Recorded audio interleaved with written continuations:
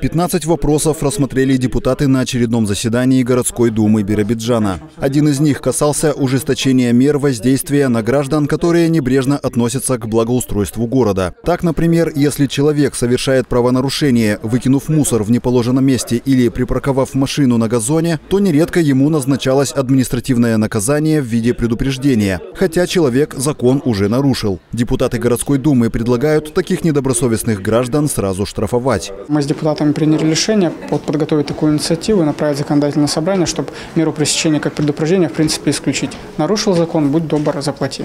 Чтобы эта инициатива заработала, в дальнейшем она должна быть рассмотрена и принята депутатами областного парламента. Никита Натапов, Богдан Патрин, Новости 21.